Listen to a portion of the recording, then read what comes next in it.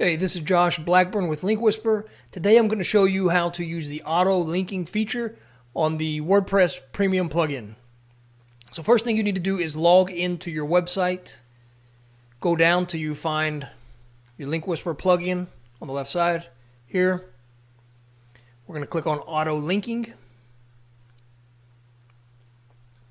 And then here we're going to put in a keyword, which I'm going to use internal link strategy. And then you can just copy and paste your URL in here. And then you can create the auto linking rule. But then you also have this gear icon with uh, some more features. Like you can add the link in the post if it already has this link, which by default this is not selected and it's not recommended.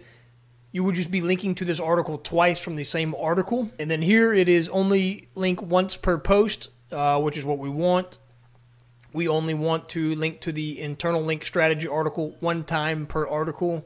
Here you can override the one link per sentence rule, so you could have one sentence that has two links, like if you had two auto link uh, set up, like if I had a sentence that said um, a good internal link strategy, which would link to this, and then it could say is part of the on page SEO benefits to grow your organic traffic and then this auto link would also link in the same sentence, which by default this is not selected.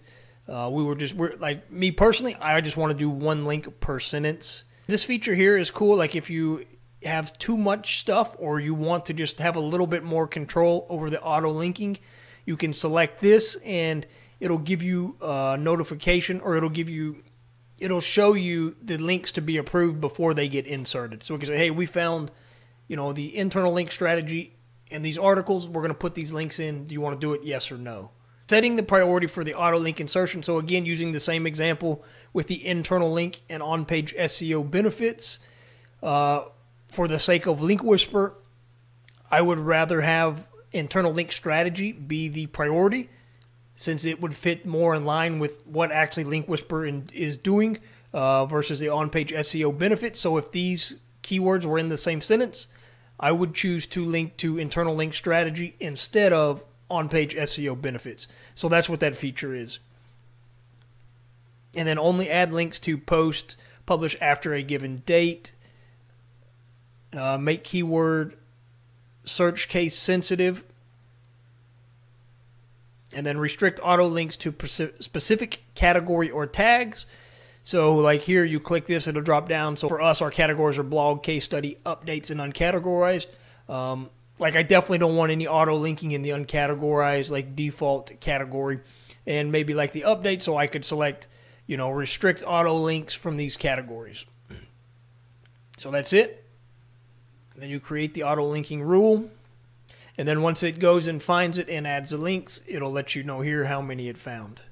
At this time, there is no mention of internal link strategy that is not already linked to, which is good. But so that's it for using the auto linking feature.